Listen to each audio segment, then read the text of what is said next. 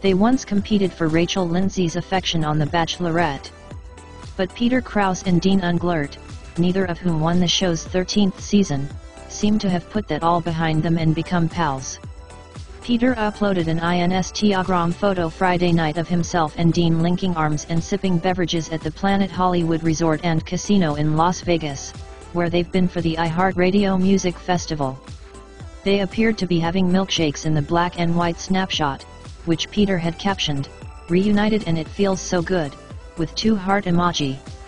The two men also appeared in a Las Vegas Instagram photo posted on Friday by Becca Tilley, an alumna of the 30th season of The Bachelor.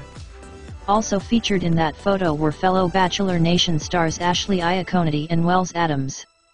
Like Dean and Becca, both Wells and Ashley have also starred on Bachelor in Paradise the quintet were lined up on a black sofa at the Planet Hollywood Resort and Casino.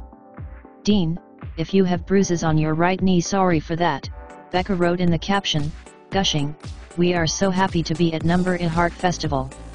She went on, thanks at for welcoming us with open arms last night. We heart emoji you. Becca, in the photo, had a hand at Dean's knee, whereas Ashley had kept her hands to herself something Becca pointed out in a string of hashtags closing the caption. She wrote, Number what doi with me hands number not that number shoot vidden way did. Dean, Peter, Becca, and Wells hit the red carpet at the festival alongside Ben Higgins, whose heart Becca had vied unsuccessfully for on The Bachelor. This red carpet was held at the T-Mobile Arena, which opened on the Strip last year. Peter and Dean seemed affectionate, the latter flinging his arms around the former from behind as the cameras snapped away at them. In a playful pose, Dean, Ben, and Wells lined up and raised their arms to carry Becca, who draped herself across them. Peter stood to the side.